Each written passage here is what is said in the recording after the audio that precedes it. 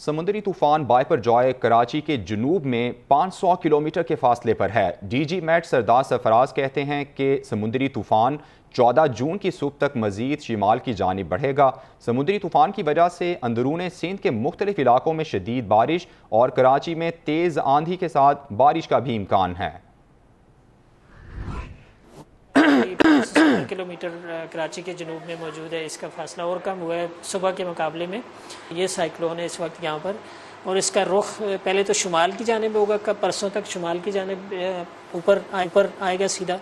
और फिर शुमाल मशरक़ की जानब इसका रुख होने का इम्कान है। ये केटी बंदर है और इसके साथ इंडियन गुजरात इस इस एरिया से कहीं इस एरिया से, इस एरिया से कहीं से ये पास आन करेगा या टकराएगा उस साइल से।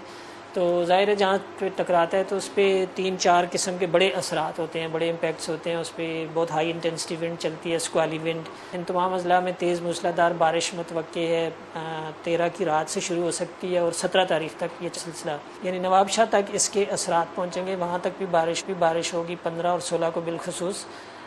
उधर तो इतनी बहुत ज़्यादा तेज़ स्पेल नहीं है, लेकिन कराची में किसी वक्त तेज़ स्पेल भी हो सकता है और आंधी कराची में भी अच्छी खासी चल सकती है.